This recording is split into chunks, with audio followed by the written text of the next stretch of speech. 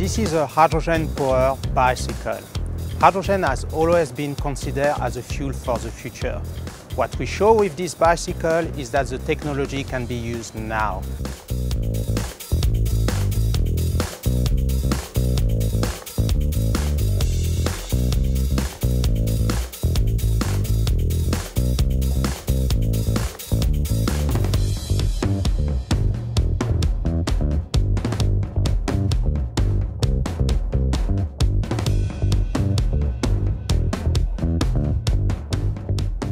The beauty of it is that you never need to recharge the battery. The hydrogen canister, you can just recharge it in about 30 minutes.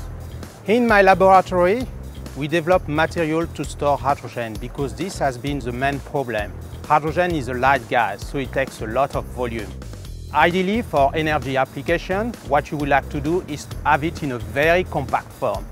We developed this bicycle to show to chemical engineer students that chemical engineering is not only about building big plants to manufacture a lot of chemicals.